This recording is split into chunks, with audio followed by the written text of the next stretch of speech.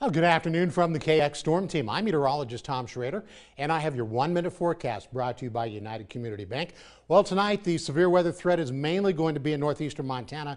Notice the brown there, that's an enhanced risk, three on a scale of five. And all this yellow area here is a slight risk, two on a scale of five. That's still a pretty uh, big number from the Storm Prediction Center. And then for tomorrow, looks like we're going to have a slight risk for much of northern North Dakota. And then on Saturday, there's still a severe weather threat, but it'll be the north and to the east is where the highest odds are.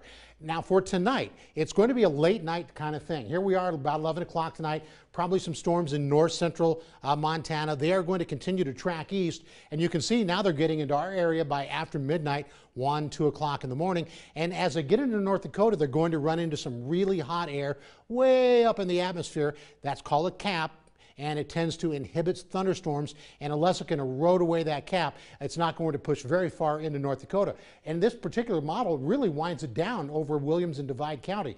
And then we still have a chance of storms for the rest of the day or nighttime on Friday and again Saturday afternoon. So we'll have a full forecast for you coming up tonight on KX News.